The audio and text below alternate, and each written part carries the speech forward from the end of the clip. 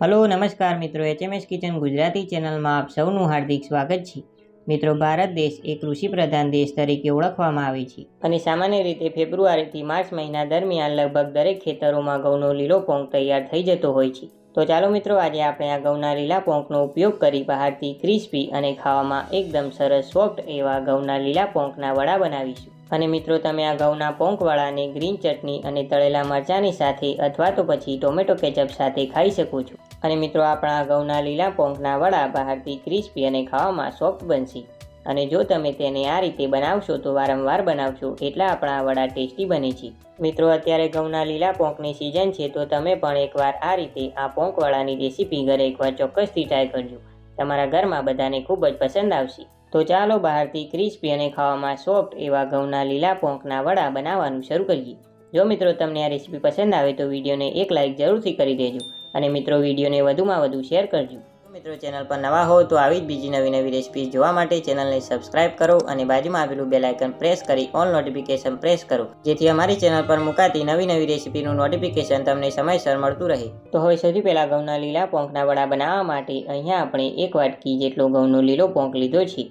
તો મિત્રો, સામાન્ય રીતે ઘઉંના છોડનો બંચ બનાવી પછી તેને ગેસ પર કે પછી ચૂલા પર થોડીવાર માટે શેકી પછી તમે તેને ખંખેરી નાખશો એટલે તેના આ રીતના દાણા છૂટા પડી જશે અને ઘઉંનો લીલો પોંક તૈયાર થઈ જશે. અને મિત્રો, તમે આ જ રીતે જુવારના પોંકના પણ વડા બનાવી શકો છો.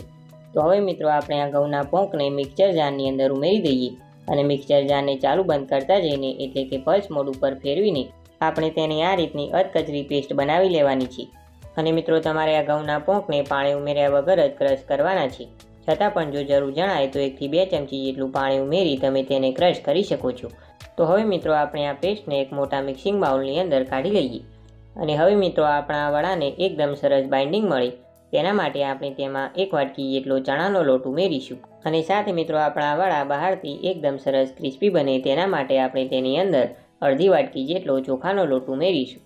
અને સાથે મિત્રો આપણે તેની અંદર તીખાસ માટે એકથી બે જેટલા સમારેલા લીલા મરચાં ઉમેરીશું. તો મિત્રો, તમે મરચાંની તીખાસ તમારી પસંદ પ્રમાણે વધારે કે ઓછી ઉમેરી શકો છો. અને સાથે આપણે તેમાં અડધી વાટકી જેટલી સમારેલી કોથમીર ઉમેરીશું. અને હવે મિત્રો, આપણે તેમાં અડધી વાટકી જેટલી ઝીણી સમારેલી ડુંગળી પણ ઉમેરવાની છે. તો અહીંયા જો મિત્રો, તમે ડુંગળી ના ખાતા હોય તો તમે તેને સ્કીપ પણ કરી શકો છો. અને હવે મિત્રો, આપણે તેમાં થોડા મસાલા કરી લઈએ. તો મસાલામાં એક નાની ચમચી જેટલો હળદર પાવડર અને સાથે સ્વાદ પ્રમાણે મીઠું ઉમેરીશું. અને સાથે મિત્રો, આપણે તેમાં એક નાની ચમચી જેટલું લાલ મરચું પાવડર પણ ઉમેરીશું. અને મિત્રો આપણા વડાનો એકદમ સરસ ખાટો મીઠો ટેસ્ટ આવે તેના માટે તેની અંદર એક મોટી ચમચી જેટલી દળેલી ખાંડ અને એક મોટી ચમચી જેટલો લીંબુનો રસ ઉમેરીશું.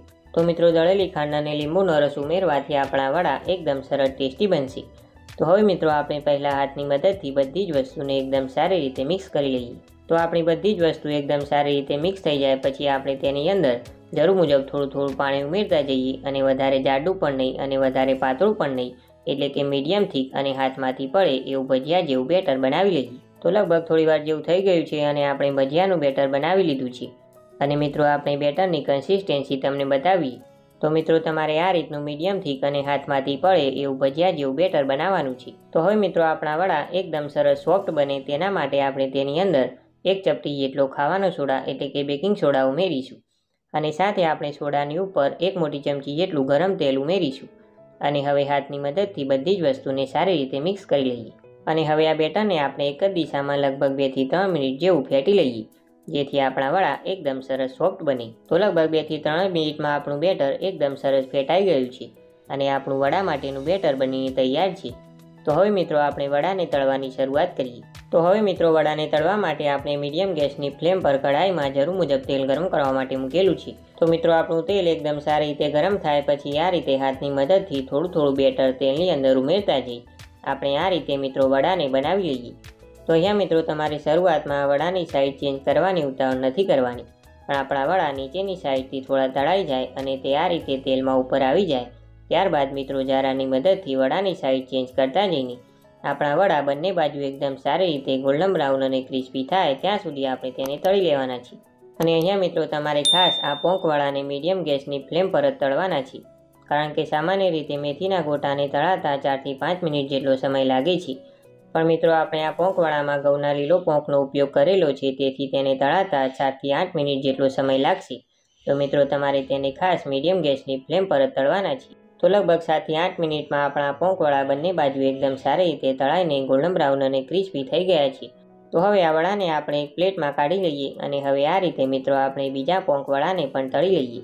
તો અહીંયા મિત્રો આપણા ઘઉંના લીલા પોંકમાંથી એકદમ સરસ ક્રિસ્પી અને ખાવામાં સોફ્ટ એવા ઘઉંના લીલા પોંકના વડા બનીને તૈયાર છે. તો હવે આ વડાને આપણે ગ્રીન ચટણી સાથે અને તળેલા મરચાંની સાથે સર્વ કરીએ.